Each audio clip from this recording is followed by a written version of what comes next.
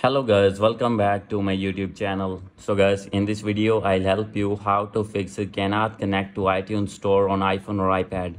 So guys, if you're using any iOS device and when you want to open iTunes Store on your iPhone or iPad and facing this type of issue again and again, I'll help you how can you fix this problem. So let's get started without wasting any time. So guys, first of all, you need to open your settings click on Wi-Fi make sure that you have connected with strong internet connection and if you're using mobile data uh, from here you have to select 4G or 5G and guys after this you need to go back. So guys now you need to scroll it down and from here you have to click on screen time. And guys now you need to scroll it below click on content and privacy restrictions. And you have to turn off all the restrictions from here. And after this you need to go back. So guys now you need to click on general.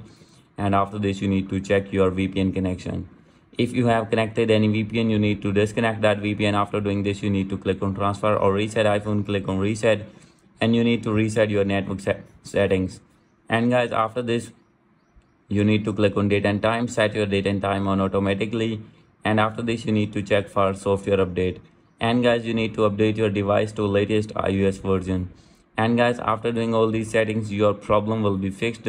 And guys after doing this you need to restart your device. And guys now you can use your itunes store as you want without any error. So guys these are the possible ways to fix this problem. Hope you like this video.